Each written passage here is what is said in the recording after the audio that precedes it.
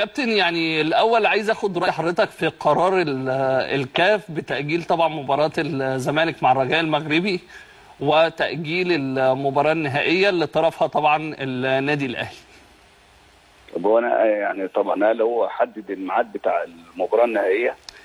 يعني هو ال- الاتجاه الاتجاه لسه ما فيش قرار رسمي إن 4 نوفمبر ماتش الزمالك مع الرجاء و27 نوفمبر آه المباراة النهائية. ده الاتجاه لكن لسه ما فيش قرار رسمي. ما أنا قاعد أنا متابع زيك كده ومفيش. قرار. وبعدين ال- الكلام كتير جدا في القرارات وإحنا يعني أنا متهيألي آه، التأجيل آه، مباراة الزمالك طبعا آه، الناس بتقول ان التأجيل مش لصالح ال- ال- الزمالك أو لا التأجيل مش لصالح لا للزمالك ولا ولا لصالح النادي الأهلي. التأجيل طبعا في, محا... في توقيت طبعا مش مناسب خالص. إن أنت تيجي قبل الماتش بيومين وأنا بحضر نفسي وأحضر نفسي للمباراة وأحضر طريقة اللعب والفرقة اللي هلعب بيها وبعدين أقوم في لحظة أغير التوقيت. المفروض الاتحاد الإفريقي ده هو اللي بيدي درس بقى لكل الاتحادات الإفريقية في الانضباط والالتزام والتوقيت والبرامج والحاجات دي.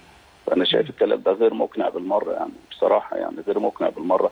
وده هيقلل يعني مش مش هقول يقلل من حظوظ لكن إحنا آه، كمصريين يعني خدنا الموضوع بشيء من آه، يعني من إنسانية إن أنت آه، في الظروف اللي فيها الإخوة المغاربة الإصابات والحاجات دي وإحنا قلنا ان المباراه تتأخر أو تتأجل عشان الإصابات بتاعتهم. لكن الاتحاد لو إحنا لو فريق مصري عنده الظروف ده الاتحاد الأفريقي هياخد نفس الموقف؟ أنا متهيألي لأ. طيب آه، فيما يخص يعني أنا لسه بتكلم على ال- ال- السخوني أو الصراع اللي أحيانا بيبقى قائم على ال social media بشوفه آه، بشكل كبير ما بين الأهلي ما بين الزمالك. يعني رأي حضرتك في كيفية التعامل مع هذا ال- الصراع؟ فكرة ان إن التهدئة كمان أنا عارف إن وقت يعني حضرتك لما كان حصل دوت فترة من الفترات آه، كان آه، حضرتك وال آه، والكابتن حسن شحاتة والكابتن محمود الخطيب في مباراة من المباريات كنتوا بتهدوا جماهير ال- الناديين فرأي حضرتك إيه في في الجزئية دي؟ أنا رأيي إن لازم يبقى تدخل يعني ما أنا مش عايز أقول اللعيبة وكده عشان الظروف برضك في التوقيت ده سخن شوية.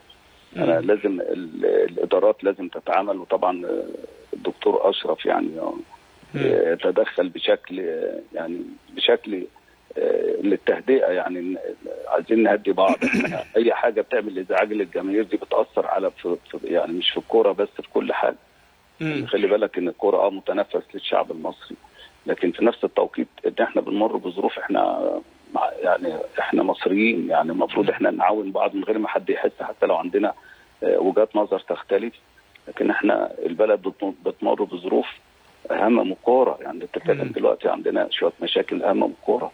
فلازم إحنا نتعامل بشكل آه، في يعني شكل متحضر شوية في حتة إن إحنا في آه، يعني في بلد والبلد دي آه، عندها شوية آه، مهام وإحنا عندنا شوية ضغوط وعندنا انتخابات وعندنا آه، برلمان بيتعمل ومجلس شيوخ وبعدين عندنا مشاكل سياسية تانية بمستقبل بلدنا في في الفترة اللي جاية و- يعني هو خلينا. نقول إن عندنا مهام مه... سياسية طبعاً. و- وليست آه، مشاكل يعني إحنا الحمد لله ال- الدولة في الفترة الأخيرة بتمر بمهام بتقدر تجتاز أي تمام، مهمة تمام، تمام. آه، بشكل جيد جدا ما تحطش جدا بقى ضغوط عليها آه، ضغوط. بالظبط. ما تحطش ضغوط بقى يعني أنت تبقى أنت بتراعي ده بشكل كويس جدا مم. وما تحطش ضغوط أكتر من المفروض إحنا مصريين آه، نبقى حابين بلدنا ونحافظ على بلد على بلد على بلدنا وال وال والتهدئة لازم تكون موجودة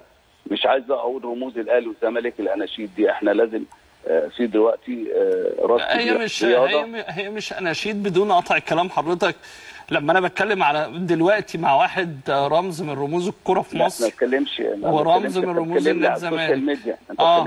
السوشيال ميديا أنا مش عايز إحنا كل يوم دلوقتي هي المشاكل جاية منين؟ كان زمان ما فيش الأهلي والزمالك بيبقى فيه مشاكل أو في مشاكل على المستوى ما حدش كان بيحس بيها آه. دلوقتي الانفتاح اللي موجود ال social media دي موجودة مم. هي عاملة برضك رد الناس بترد على بعضيها فالدنيا مفتوحة في الرد وده ده بيأثر على ال...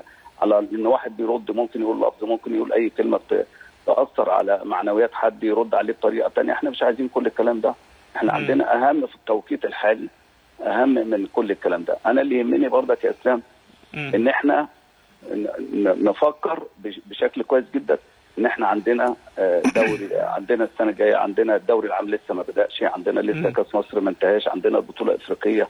آه، أبطال دوري وعندنا الكونفدرالية خرجت خرجت آه، بيراميدز يعني السنة الجاية يبقوا أفضل وأحسن ودي فرق بقت كويسة جدا لكن أنا بتكلم على الاهلي والزمالك يعني الكرة من غير الاهلي والزمالك من غير رأس الأهلي والزمالك ما فيش كرة في مصر.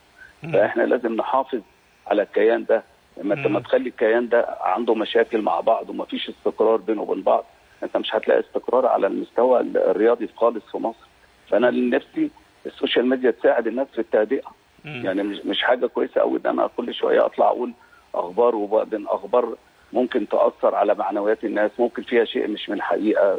ممكن فيها شيء من الحقيقة. أنا مش عايزين الكلام ده. إحنا عايزين نهدى عشان إحنا عندنا التزامات للمنتخب افريقيا عندنا التزامات التزامات للمنتخب ال- الناشئين التزامات للمنتخب الأولمبي عندنا وعندنا كأس العالم لكرة اليد عندنا مهام كتير قوي لازم نحافظ. عليها ولازم نشتغل عليها إحنا مش. هنشتغل إحنا الحرب مش عايزين نقول إن إحنا قاعدين بن- بنحارب في بعض. لا إحنا إحنا طول عمرنا الرياضة دي انت قلت نقطة مهمة جدا آه، اتفرج على مباراة أهلي وزمالك وال- والجماهير مثلا قالت لفظ الحسن شحاتة بنشوف. الكابتن خطيب خطيب. راح واخد حسن شحاتة وراح للجماهير راحت. الجماهير مسقفه وعشنا في المباراة هو ده اللي إحنا عايزين نشوفه. عايزين نشوف كل الناس هو أنا هو أنا ممكن أشوف آه، فاروق جعفر بقيمته ال- الكبيرة وحسن شحاتة طبعا الاسم الكبير وحازم إمام ممكن أشوف وفد من نادي الزمالك بي- بيزور آه، النادي الأهلي وانت حضرتك يعني ورئيس النادي الأهلي ال- الحالي هو آه، زميلك طبعا الكابتن محمود. خطيب. هل ممكن أشوف قبل ماتش الأهلي والزمالك اللي جاي دوت آه، ماليش دعوة بخلافات الإدارات. أنا بتكلم إن حضرتك لا أنا واحد ما أنا بتكلم على أنا بكلم واحد آه، دلوقتي هو رمز من رموز الكرة في مصر. ورمز نادي الزمالك. وحضرتك آه، يعني حسب معرفتي طبعا مستشار كمان حالي فني لمجلس إدارة نادي الزمالك. آه، هل ممكن أشوف فاروق جعفر وحسن شحاتة وحازم إمام وأحمد حسام ميدو والأسماء الكبيرة اللي في نادي الزمالك؟ أنا مش عايز أنسى حد متواجد داخل النادي الأهلي. آه، متواجد مع ال- الكابتن محمود الخطيب زي ما حصل قبل كده؟ أنا يعني أنا نفسي إحنا لو في نيه لحاجة زي كده لازم يبقى من خلال آه، يعني المنظومة الرياضية من خلال وزير الشباب والرياضة ما إنه يقعد يحدد إحنا نروح لهم أو هم يجوا لنا. آه، إحنا في اعتقادي آه، كل واحد لبس تيشيرت الأهلي أو الزمالك مصلحته دلوقتي إن يبقى يحصل هدوء في الجو العام.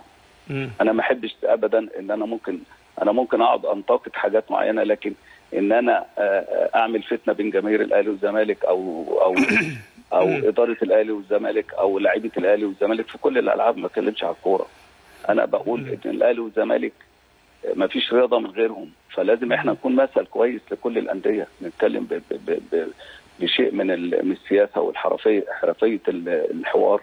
نتكلم في في في- مواضيع تخص وتنمي وتطور الأداء بتاع الكره والألعاب التانية في مصر. نتكلم دايما إن إحنا قدوة لكل الأندية إن إحنا ما- فيش حتة إن إحنا نتطاول أو نغلط أو نتهم. الحاجات دي كلها مرفوضة. إحنا المفروض نحافظ على على كيان الناديين الكبار دولت اللي في القارة اللي الناس كلها بتتمنى تشوف لاعيبتهم وتتمنى تتعامل معاهم وتتمنى تخش الأندية دي.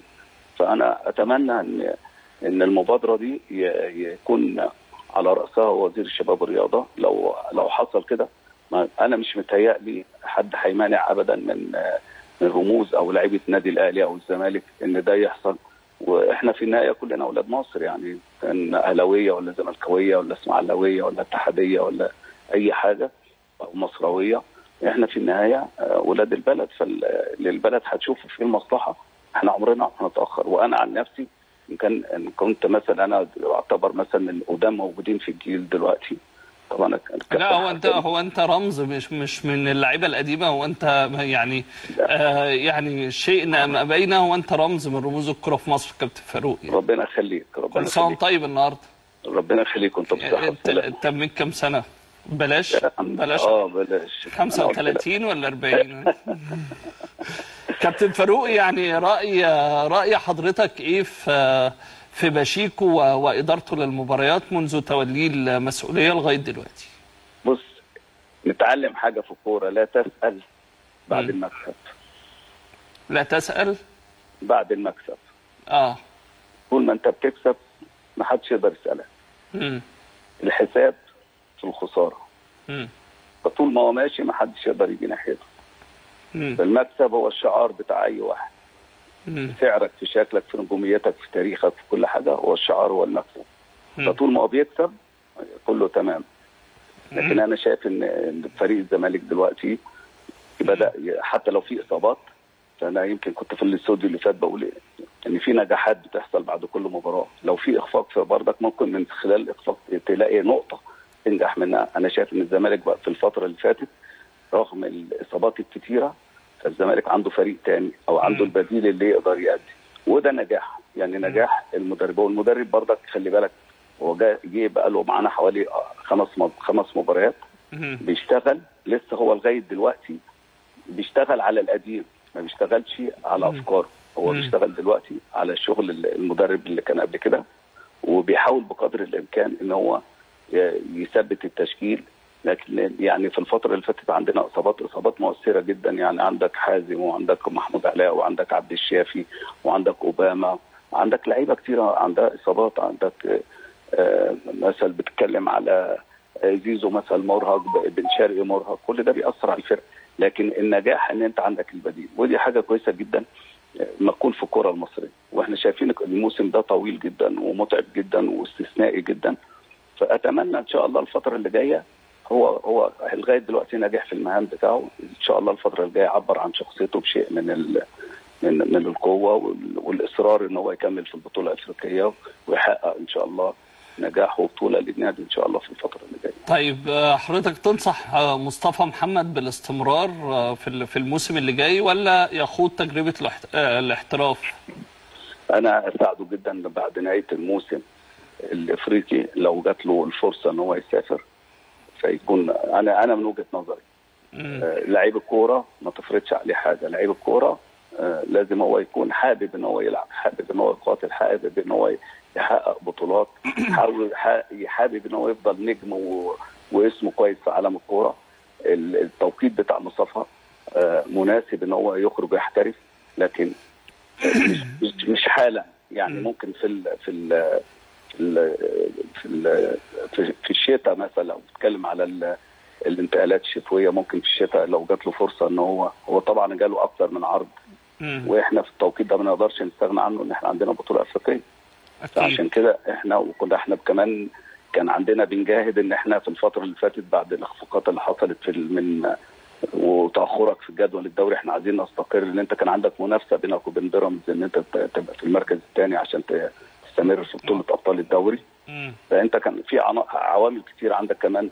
كأس مصر أنت محتاجه في كأس مصر. فإن شاء الله لو جات له الفرصة في ال- الانتقالات الشتوية أنا مش متهيألي النادي هيأثر معاه والنادي هيرحب إن هو يمشي. وده طبعا هيبقى تاريخ واللعيبة وهو ما يقلش عن أي نجم على فكرة من اللي راح طرفه بره. وعمره عمره مناسب جدا إن هو يسافر ويحترف. إن شاء الله لو جات له الفرصة يعني نتمنى له النجاح إن شاء الله إن هو لعيب كويس. النجم الكبير الكابتن فاروق جعفر طبعا نجم الكرة المصرية ونجم نادي الزمالك الأسبق طبعا آه، كل كل سنة وحضرتك طيب طبعا آه، بمناسبة عيد ميلاده واحد من آه، نجوم نادي الزمالك ال- السابقين و